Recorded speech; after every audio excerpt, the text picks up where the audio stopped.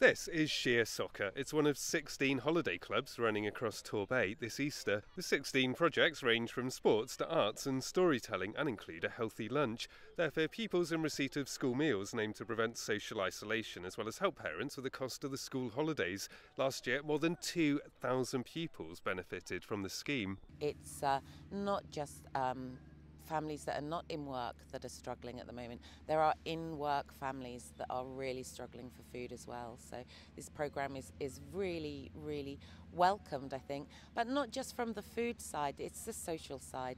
Our young children have been isolated for the last two years. Their things have been very up and down with lockdowns and school on and not in school. So it, has been very important that the, our young people have that chance to socialise and get together safely in a fun environment. Part of our job is to, to encourage that social interaction, to get them to, to make friends. Lots of children from different backgrounds, different schools.